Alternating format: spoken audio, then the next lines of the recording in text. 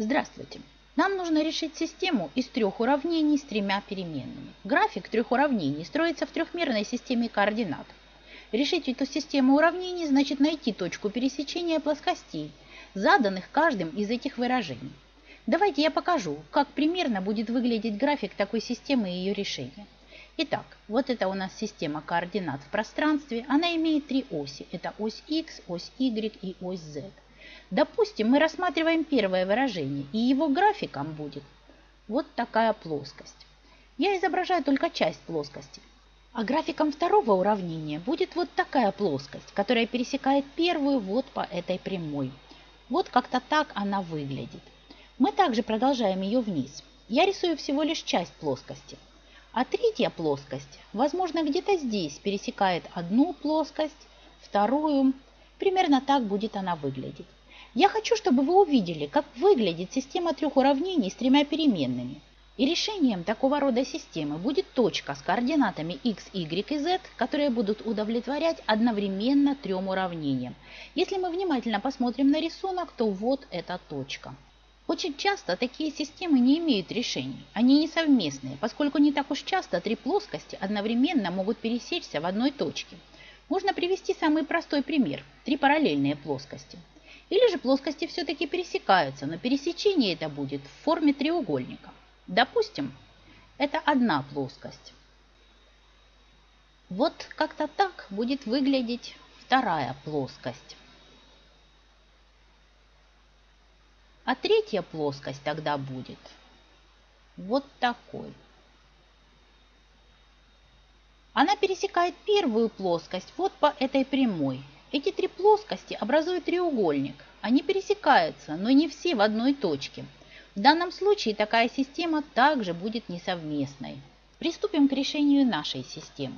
Ключ к решению в том, чтобы устранить одну из переменных одновременно из трех уравнений. Мне кажется, проще всего избавиться от y.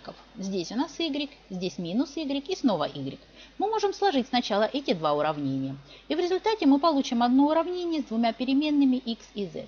Затем мы сложим эти два уравнения и также получим одно уравнение с переменными x и z. Таким образом мы сможем решить систему, используя все три условия. Сначала мы складываем первые два уравнения, перепишем их. x плюс y минус 3z равно минус 10 и x минус y плюс 2z равно 3. В данном случае, если мы хотим устранить переменную y, мы можем просто сложить уравнение – в левой части x плюс x равно 2x, а y минус y сокращаются. Минус 3z плюс 2z – это минус z. В правой части мы получим минус 10 плюс 3, то есть минус 7. Значит, сложив вот эти два уравнения, мы получили 2х минус z равно минус 7. Мы просто сложили первые два выражения. Переходим к этим двум уравнениям. Мы берем второе уравнение и третье. Решение, которое мы в итоге получим, будет удовлетворять всем трем условиям. Перепишем уравнение.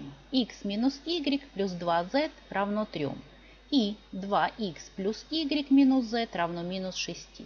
Нам нужно всего лишь сложить эти уравнения, чтобы избавиться от y. x плюс 2x это 3x, минус y и y сокращаются, 2z минус z это плюс z, и это будет равно 3 минус 6, то есть минус 3. Значит, если мы сложим вот эти два уравнения, то получим 3х плюс z равно минус 3. Теперь перед нами система двух уравнений с двумя переменными. Такая система вам уже знакома. Перепишем ее вот сюда. 2х минус z равно минус 7. И 3х плюс z равно минус 3. Решить такую систему не составит труда поскольку если мы сложим эти два уравнения, то переменная z сразу сократится. Но если бы одна из переменных так и не сократилась, то нам бы пришлось умножать одно из уравнений или оба на какой-то множитель. Но нам повезло, и мы можем просто сложить эти два уравнения. В левой части 2х плюс 3х равно 5х, минус z и z сокращаются, а в правой части минус 7 минус 3 равно минус 10. Разделим обе части этого уравнения на 5.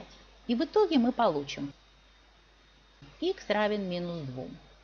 Теперь мы можем вместо x подставить минус 2 и попробовать найти другие переменные. Сначала мы подставим минус 2 вот в это верхнее уравнение и вычислим значение z. Итак, у нас здесь 2 умножить на x, а x равен минус 2. Минус z равно минус 7.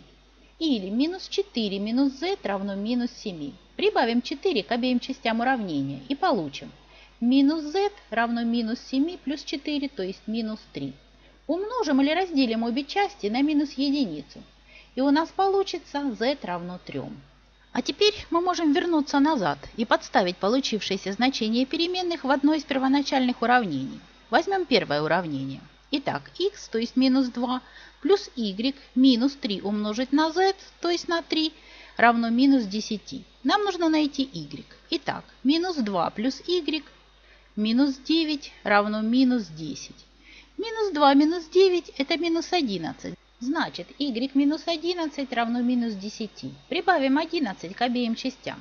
И в результате мы получим y равен минус 10 плюс 11, а это единица. Итак, x равен минус 2, z равен 3, а y равен единице. Теперь давайте проверим, действительно ли эти числа удовлетворяют трем уравнениям системы. Проверим, на самом ли деле точка с такими координатами принадлежит трем плоскостям, заданным вот этими уравнениями. Итак, x равен минус 2, y равен единице, z равен 3. Мы подставим эти числа в каждое уравнение. Первое выражение минус 2 плюс единица, вы ведь помните, что y равен единице. Давайте еще раз запишем получившиеся значения переменных. y равен единице, x равен минус 2, а z равен 3. Вот такое у нас решение. Если мы подставим эти значения в первое уравнение, то мы получим минус 2 плюс единица, минус 3 умножить на 3, то есть минус 9, и это должно быть равно минус 10. И так оно и есть. Минус 2 плюс единица – это минус единица, а минус единица минус 9 – это минус 10. Значит, эти три числа удовлетворяют первому уравнению. Переходим ко второму. Минус 2 минус y, значит, минус 1 плюс 2 умножить на z, а z равно 3, значит, плюс 2 умножить на 3 это равно 6. И это должно быть равно 3.